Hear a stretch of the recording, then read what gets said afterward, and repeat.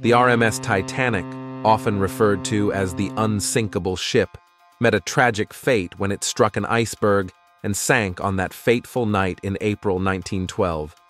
Since then, many have wondered if there's any way to bring this iconic vessel back to the surface. Well, stick around, because we're about to unravel the complex reasons why it's just not possible. The ship lies about 12,500 feet, 3,800 meters below the surface of the North Atlantic Ocean, in an environment that's far from hospitable. The immense pressure at that depth is enough to crush most submersibles and make any recovery mission extremely dangerous.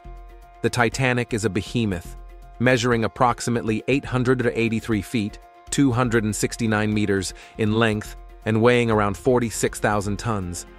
Imagine trying to lift something that massive it's like moving a mountain. The sheer size and weight present staggering logistical challenges.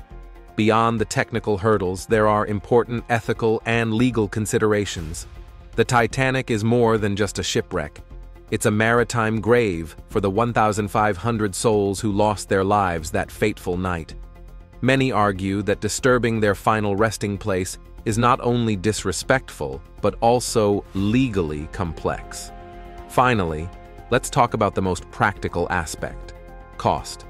Raising the Titanic would be a colossal undertaking, likely costing billions of dollars. The technology required to do so doesn't currently exist, and even if it did, would it be worth the enormous investment? So, in conclusion, while the idea of raising the Titanic from the depths of the ocean may capture our imagination, it's a monumental task that's currently beyond our reach. The ship, a poignant reminder of history, continues to rest peacefully on the ocean floor, preserving the memory of that tragic night in 1912.